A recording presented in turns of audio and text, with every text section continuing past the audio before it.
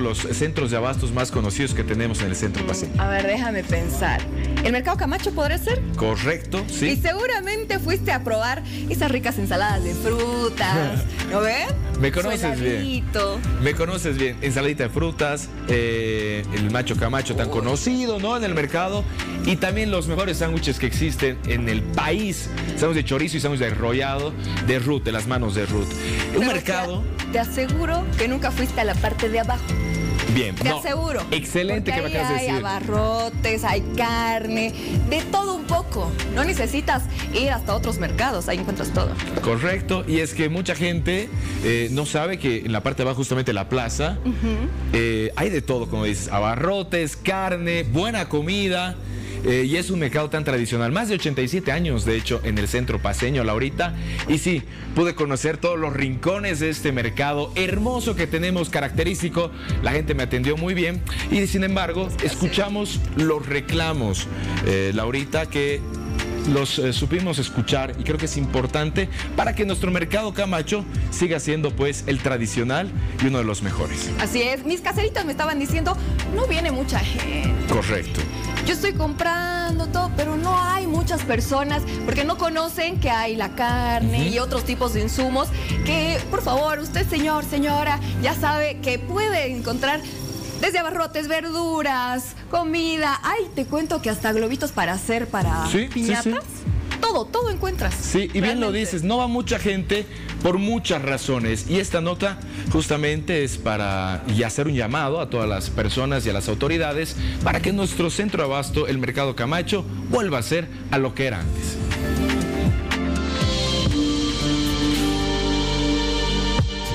Señora Damiana, hay muchas cosas que podrían mejorar este tradicional mercado.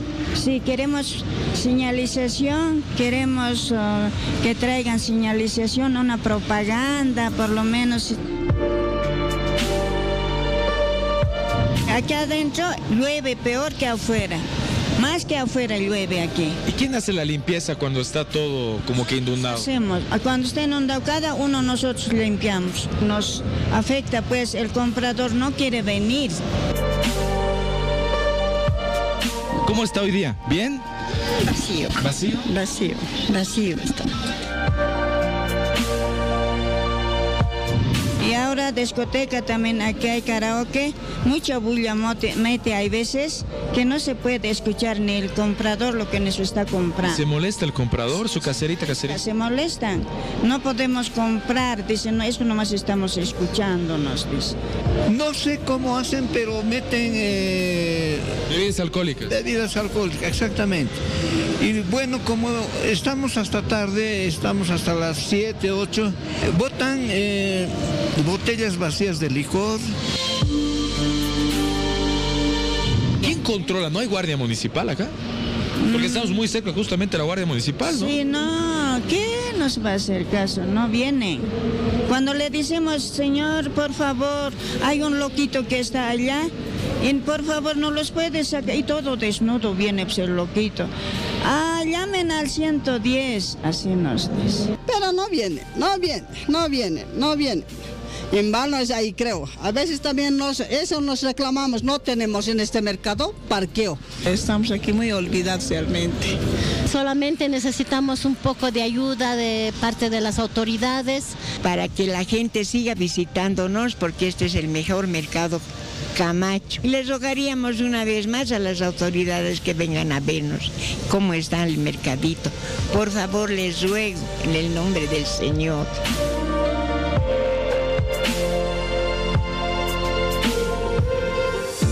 Mis caseritas tan hermosas. Desde hoy, Paul, voy al mercado Camacho a todas mis compras. Así es. Aprovecho para mandar un saludo ahí a Telófila, a la señora Grego, que trabaja desde los 12 años. Ya más adelante estaremos eh, contándole la historia de cada una de nuestras caseritas. El llamado a las autoridades para que puedan ayudarnos. Sí, ayudarnos. Yo sé que van a eh, responder este llamado de todas nuestras caseras, que ahí piden con tanto cariño que no se olviden, ¿no?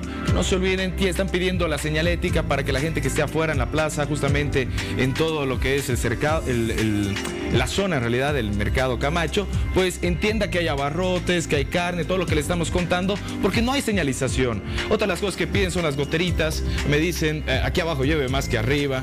Entonces son un par de detalles que sé que nuestras autoridades van a responder. Además queremos ver a nuestro mercado Camacho más lindo que antes. Brillando nuevamente. Nosotros cerramos. Vamos a volver a hablar acerca del mercado Camacho. En esta ocasión tomamos contacto de manera inmediata, además, con el concejal Oscar Sogliano. Muy buenos días, Oscar. Estamos justamente con las imágenes de esta nota. Imagino que, viste la nota, por eso tomas el contacto con nosotros muy tempranito a la mañana y de manera inmediata. Buenos días, concejal. Hola Paul, ¿cómo estás? Muy buenos días. Siempre un placer saludarte. A través tuyo también mandar un gran saludo a todos los eh, que nos están viendo. Sí, así es.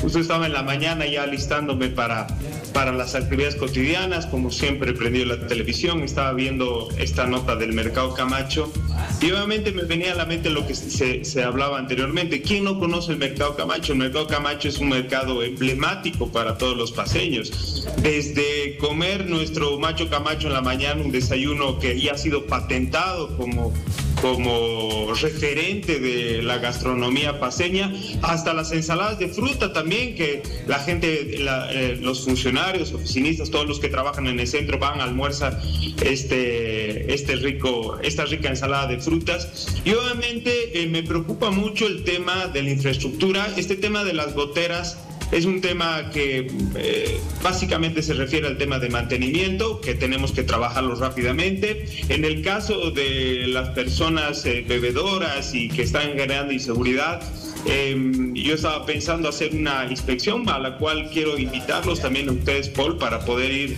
de manera inmediata con la Guardia Municipal, para ir con la Dirección de Mercados, te voy a invitar a hacer una intervención integral, a poder ver cuáles son los problemas y darle solución de manera rápida y oportuna para, para que las carteras estén tranquilas, para que puedan desarrollar su trabajo con, con tranquilidad, pero además para la gente también que va al mercado de Camacho a realizar sus actividades. Concejal, eh, qué buenas noticias nos está dando, nos está entregando y que decirle gracias por su tiempo, además de este contacto tan, tan inmediato que tuvimos. Eh, a ver, eh, concejal, vamos a estar ahí, vamos a estar ahí presentes eh, en lo que se necesite y, y, darle esta noticia ahora. Las caseritas nos están viendo de que vamos a hacer esta inspección. Eh, ¿Qué pasa en el tema de la señalización, concejales? ¿Se puede ver algo? Porque estas caseritas en realidad eh, mencionan que no va mucha gente justamente por el tema de la señalización, ya que están debajo de la plaza en el tema de la venta de carnes, es, es un centro de abasto importante. ¿Podemos ver el tema de señalización tal vez? Sí, mira, Paul, hay un tema muy importante en esto. Las alianzas público-privadas son esenciales para nuestros centros de abasto. No solamente la, el Camacho y el Lanza, que son los mercados referentes de la ciudad, en el centro de la ciudad de La Paz. Tenemos muchos mercados en toda la ciudad, pero el, el Camacho y el Lanza son los referentes porque están en el centro de la Correcto. ciudad. Y estas alianzas público-privadas tenemos que trabajarlas en relación al tema de las campañas de comunicación, al tema de la señalética, pero también estamos en, eh, en eh, iniciativa de encarar un proyecto de poner, por ejemplo, paneles solares en el techo bueno. del mercado Camacho que nos dé la posibilidad de generar, por ejemplo, publicidad en la parte de arriba, publicidad abajo, señalética luminosa, que vengan de los paneles solares, que no les cueste a las caseras dinero, porque obviamente eso tiene que ver con un tema de luz y que obviamente sea autosostenible. Eso hay que hacerlo en relación a alianzas público-privadas con empresas que les interesen poner también este tema del marketing, la señalética,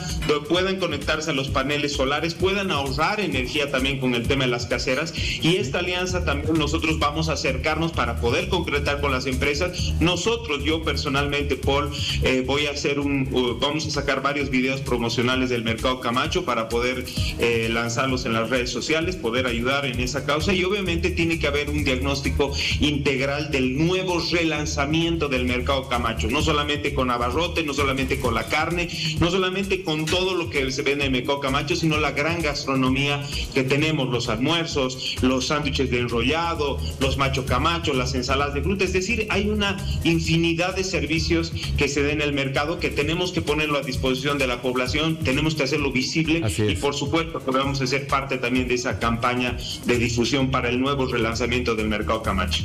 Concejal, realmente... Eh puras buenas noticias. Estamos felices de, escucharlo. Además, una acción inmediata que vamos a tenerlo en conjunto y darle esas noticias a nuestras caseritas ahí del mercado Camacho. Ya para cerrar y cortito, concejal, ¿podemos tener una reinauguración? ¿Se anima a hacer una reinauguración de nuestro mercado Camacho?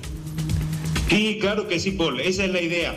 Eh, por eso yo te decía al principio en la entrevista, me encantaría poder ir eh, eh, pasada Semana Santa con ustedes, con la Guardia Municipal, con la Dirección de Mercados, que llamaremos para que estén también presentes ahí, hacer un diagnóstico sobre el tema de seguridad, hacer un diagnóstico sobre el tema de lo que se necesita en el mercado, este nuevo relanzamiento, y a partir de las tareas que deben ser inmediatas y que deben ser rápidas, poder repensar en un relanzamiento que pueda posesionar nuevamente al mercado Camacho como un referente que es de los paseños y obviamente poder trabajar de la mano con las caseras. Lo hacemos con los controles, lo hacemos con las juntas vecinales sí. en todo el territorio y por supuesto que lo haremos con nuestras caseras del mercado Camacho. Perfecto, buenas noticias entonces. Oscar Sogliano, concejal, estuvo con nosotros. Realmente es un placer hablar con usted y bueno, compartir estos temas que tanto tenemos eh, preocupados ¿no? en, la, en la población.